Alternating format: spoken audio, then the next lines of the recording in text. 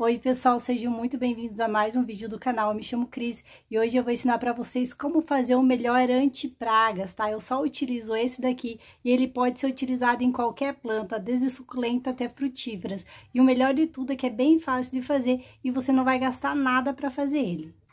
Então, o que que eu vou precisar? Aqui, pessoal, eu tenho a casca de quatro cebolas grandes, tá? Mais ou menos desse tamanho aqui.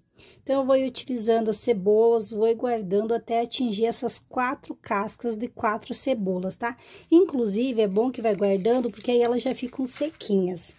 Olha só onde que eu vou guardando, pessoal, vou colocando dentro desse saquinho aqui, quando eu atinjo quatro cascas de cebola grandes, então vem aqui, daí vou fazer meu inseticida. Outra coisa, pessoal, eu vou utilizar somente a casca da cebola, mas se você tiver também casca de alho, vai ser melhor ainda, tá? Então, se você tiver um pouquinho de casca de alho, você adiciona no meio pra gente fazer a receita.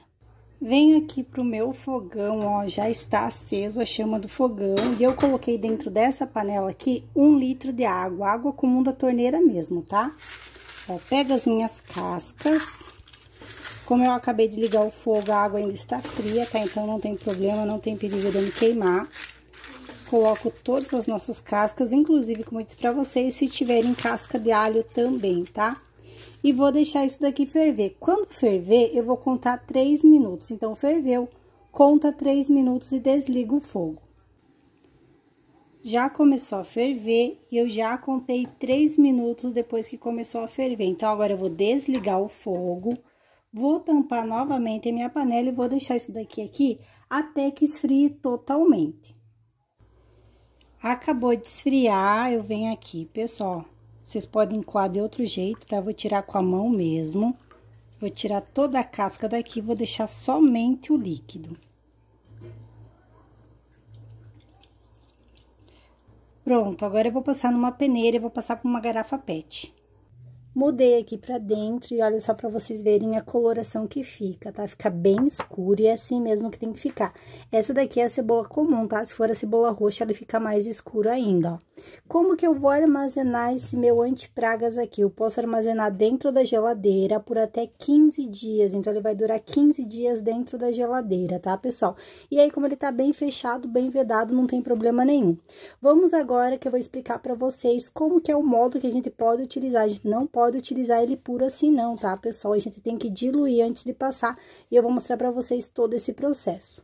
Peguei dois copinhos para conseguir explicar para vocês melhor. Se o local que você quer passar, seja ele suculentas, plantas, frutíferas, estiver muito atacado, também pé de tomate, pé de couve, estiver muito atacado, muito infestado, o que, que a gente vai fazer? A gente vai utilizar uma parte de água para uma parte do nosso antipragas, tá? Então, um copo de água cheio e um copo de antipraga cheio, tá?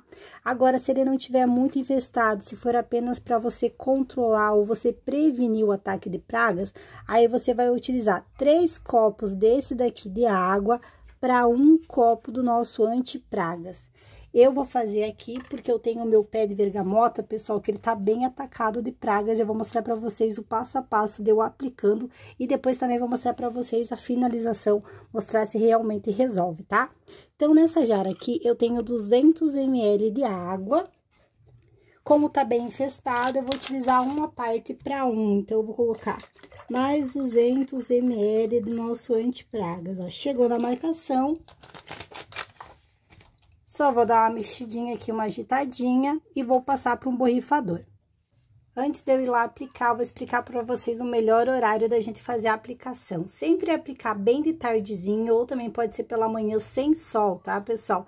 Eu prefiro sempre aplicar tardezinha. E aí, você pode aplicar, como eu disse para vocês, em pés de couve, tomateiros, orquídeas, suculentas, frutíferas, que esse antipragas não tem contraindicação nenhuma, tá? Então, você pode utilizar em qualquer planta. Eu vou passar nessa parte aqui que está bem infestada. Então, eu vou mostrar para vocês toda a aplicação e também vou mostrar para vocês depois o resultado. Como vocês podem ver, não está mais pegando sol aqui, tá? Agora já está de tardezinho, então é o horário ideal para a gente fazer a aplicação. Então, eu venho aqui, pessoal, e aplico. E como que é feito essa aplicação, tá? Quando tá muito infestado desse jeito aqui, eu gosto de aplicar a cada 4, 5 dias. E se for como um método de prevenção, aí eu aplico a cada 10, 15 dias já é o suficiente. Então, vou deixar isso daqui aqui e eu volto depois para mostrar para vocês esse mesmo galho como que está. Voltando para mostrar para vocês como que está o nosso galho após duas aplicações. Então, olha só, pessoal, o resultado apenas duas aplicações e já assumiram todos os pulgões. Essa que eu vou fazer agora vai ser a terceira aplicação, ó.